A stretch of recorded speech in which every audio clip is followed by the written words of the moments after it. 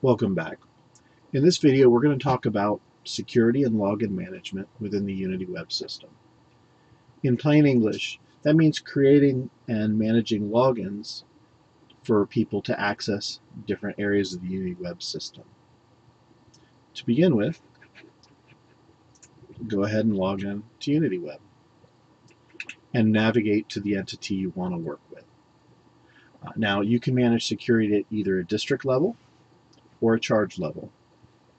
Notice I didn't say church level. That's because churches are always managed as far as security is concerned as part of their parent charge, even in certain circumstances where there's a single church. So let's go ahead and click the charge. And the appropriate link is called charge security. So let's click that. That brings up the charge security menu.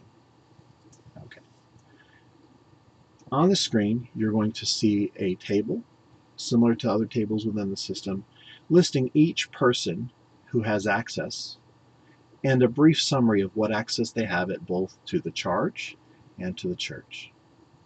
Now notice that I'm logged in as a pastor, but I'm not on the list. That's because pastors are always administrators of a charge to which they are appointed. Similarly, district superintendents are always administered administrators of a district to which they are appointed. However, it's important that the pastor doesn't do everything within the Unity web system. It's important for the, the lay leadership of the church to take an active role in making sure the data is correct. And so security here helps delegate those tasks accordingly. The proper way to kind of introduce this is to start from scratch. Let's say we have a brand new lay leader and we want to give them access to the system. Now we've already put them in as a lay leader under charge leadership, of course, but now we need to go ahead and add them a user account so they can access parts of the Unity web system. So we'll click Add New User and select them. Now, if they're already an office holder, they'll be in this list, but for argument's sake, I'm just going to create a brand new person.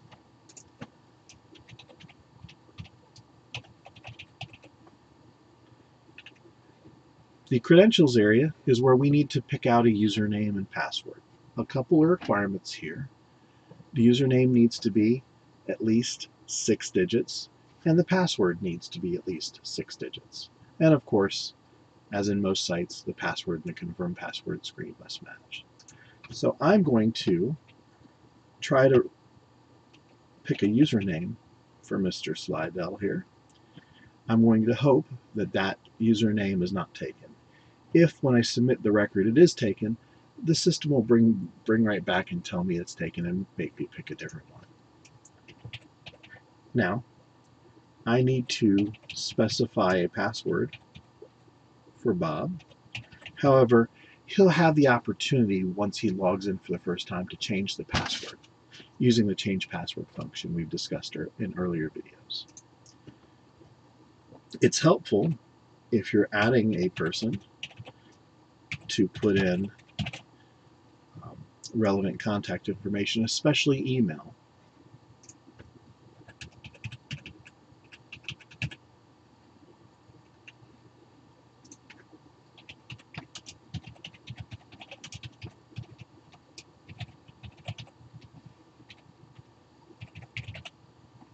Now, let's talk about security. So I have one entry for the charge and then one entry for each church. And I need to decide what access I want to give them. The default, of course, is no access.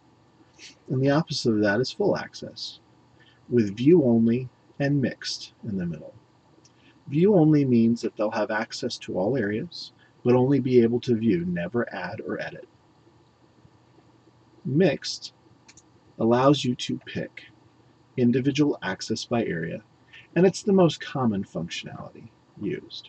Full access, as implied, gives you access to everything, and that's equivalent to assistant administrator uh, in the old EVC system. So, seeing as how we've talked about our example as a lay leader, I'm going to give this person full access to both churches.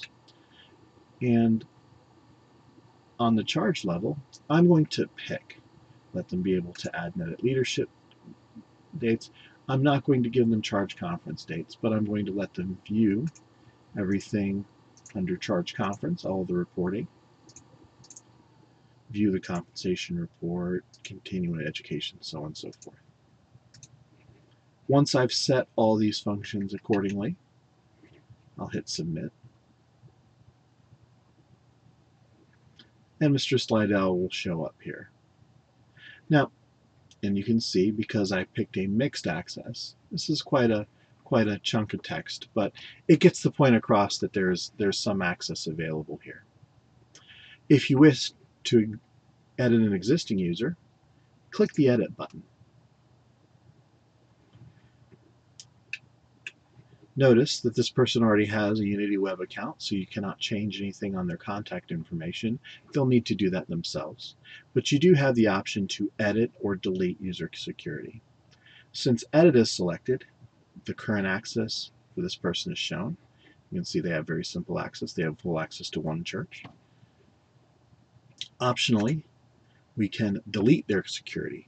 Notice that this doesn't delete their Unity web account they'll still be able to log in to their account. However, it will delete any access to ha they have to churches. So when they log in, they won't be able to access uh, any of their, their, their church security. I'll go ahead and do that now.